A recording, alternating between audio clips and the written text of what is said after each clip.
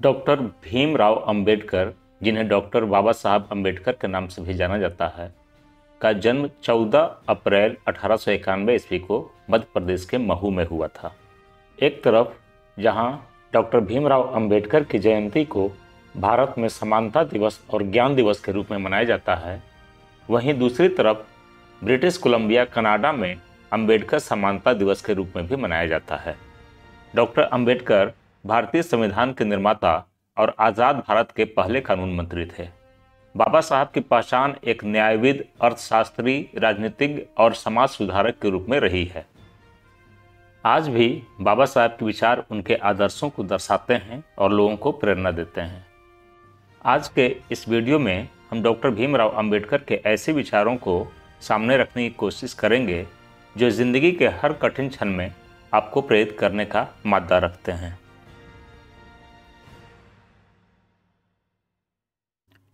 मंदिर जाने वाले लोगों की लंबी कतारें जिस दिन पुस्तकालय की ओर बढ़ेगी, उस दिन मेरे इस देश को महाशक्ति बनने से कोई नहीं रोक सकता। सफलता कभी भी पक्की नहीं होती है और असफलता भी कभी अंतिम नहीं होती है। इसलिए अपनी कोशिश को तब तक जारी रखो जब तक कि आपकी जीत इतिहास न बन जाए। अगर मुझे किसी समुदाय की प्रगति मापनी हो तो उस समुदाय की महिलाओं ने क्या प्रगति हासिल की है, मैं उससे मापता हूँ।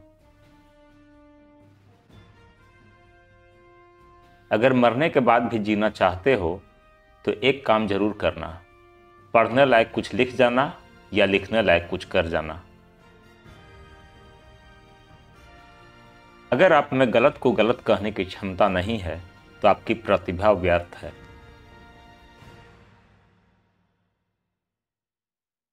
अज्ञानता से भय पैदा होता है, भय से अंधविश्वास पैदा होता है। अंधविश्वास से अंधभक्ति पैदा होती है, अंधभक्ति से आदमी का विवेक शून्य हो जाता है। और जिस आदमी का विवेक शून्य हो जाता है, फिर वह आदमी इंसान नहीं, मानसिक गुलाम हो जाता है। इसलिए अज्ञानी नहीं, ज्ञानी बनो।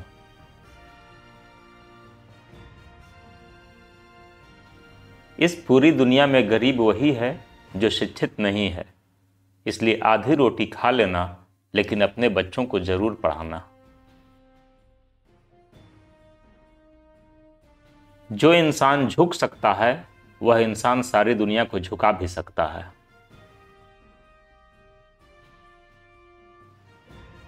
जो लोग इतिहास को भूल जाते हैं, वो लोग कभी भी इतिहास नहीं बना सकते।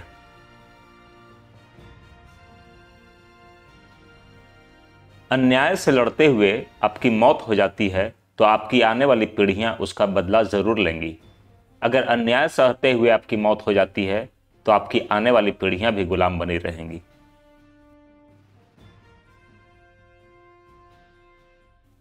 अपनी झोपड़ी में राज करना दूसरे लोगों के महलों में गुलामी करने से कई गुना अच्छा है।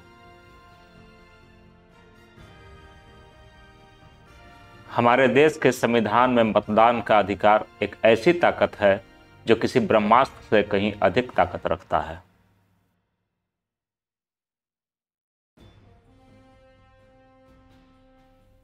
मैं ऐसे धर्म को मानता हूँ जो स्वतंत्रता, समानता और भाईचारा सिखाए।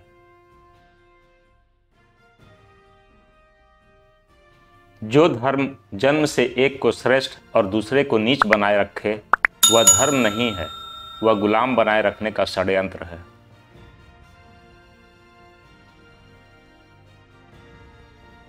समाज में अनपढ़ लोग हैं, ये हमारे समाज की समस्या नहीं है।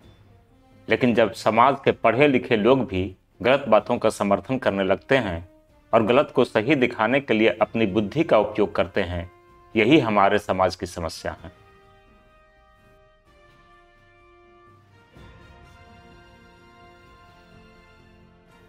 मेरी प्रशंसा और जय जयकार करने से अच्छा है, मेरे दिखाए हुए मार्ग पर चलो।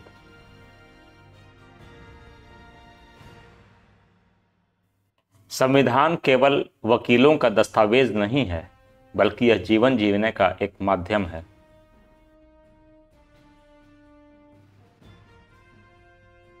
जिसे अपने दुखों से मुक्ति चाहिए, उसे लड़ना होगा, और जिसे लड़ना है उसे सबसे पहले अच्छे से पढ़ना होगा, क्योंकि ज्ञान के बिना लड़ने गए तो आपकी हार निश्चित है।